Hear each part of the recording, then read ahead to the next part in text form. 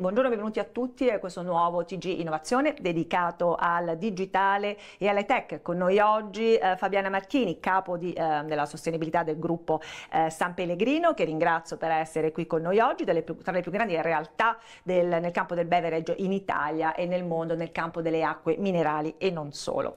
Senta, oggi si parla sempre più purtroppo di siccità, insomma l'acqua va sempre più eh, razionata eh, in Italia, una grande emergenza, forse la peggiore eh, degli ultimi dieci dieci anni. Qual è invece eh, la situazione con le fonti eh, minerali? Le acque minerali sono da sempre al centro ovviamente del nostro business. Per noi ovviamente è importantissimo prendercene cura e infatti da diversi anni abbiamo avviato delle pratiche di gestione della risorsa idrica estremamente virtuose.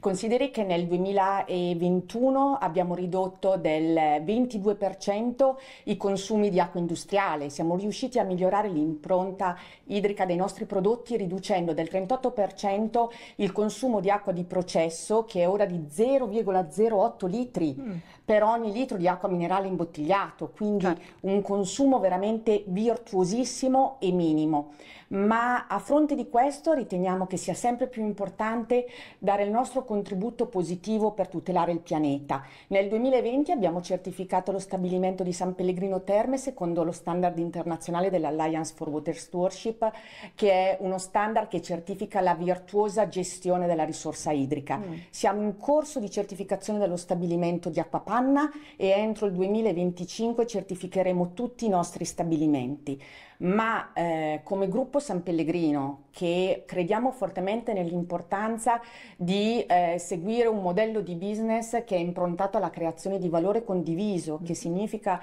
generare un impatto positivo per le comunità e, le so- e la società e allo stesso tempo prenderci cura del pianeta, è fondamentale tutelare le risorse per le generazioni future.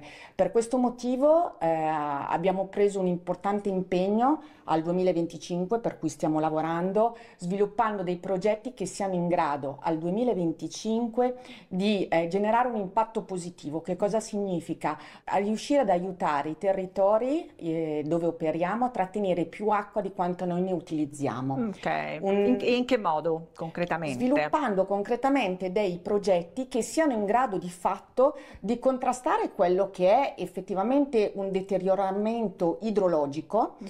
eh, che è in atto e che è conseguente mh, essenzialmente Chiaro, al cambiamento climatico, alla maggior urbanizzazione, al maggior consumo che si fa di acqua. E sprechi anche ovviamente. E, e sprechi e anche al, al, cattivo stato delle infrastrutture. Queste sono le principali cause del deterioramento idrologico, ma noi eh, al netto di essere sempre più virtuosi nella gestione della risorsa idrica, vogliamo concretamente dare il nostro contributo positivo e eh, certo. generare un impatto. Senta, secondo Nomisma continua a crescere proprio il mercato delle acque minerali, nei primi cinque mesi le vendite nella GDO mettono segno più 6%, anche l'export sta andando molto bene. Eh, quanto stanno pesando i consumi dei trasporti, insomma delle materie prime, e della benzina?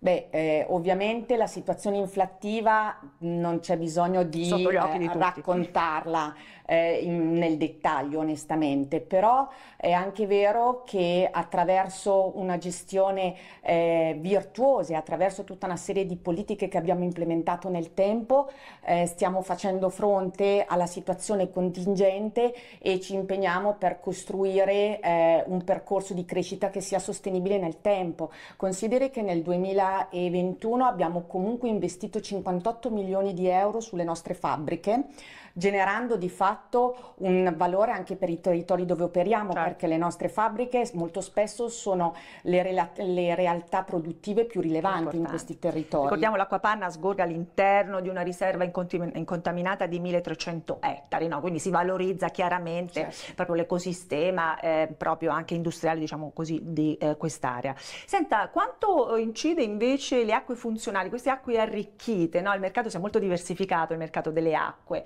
e anche questo in termini proprio di sostenibilità è un, un elemento ulteriore?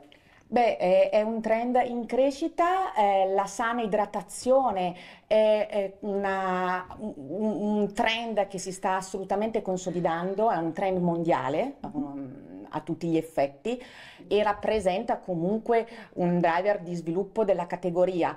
Nel nostro modello di business che è volto alla creazione di valore condiviso, tre sono le aree prioritarie su cui focalizziamo i nostri valori e le nostre pratiche di business, che sono la generazione di valore per le persone, per le comunità e il pianeta, come accennavo prima. La creazione di valore per le persone passa anche tramite l'offerta eh, di prodotti che garantiscano una corretta idratazione, fra cui anche eh, le acque funzionali. Mm-hmm. Con Levissima eh, siamo leader nel segmento, con l'offerta appunto funzionale e attraverso anche tutta una serie di progetti come a scuola d'acqua volti a dare la corretta informazione su quelle che sono le principali pratiche eh, da implementare per una corretta idratazione. Grazie a Fabiana Marchini per essere stata oggi con noi e grazie anche a voi per averci seguito. Alla prossima!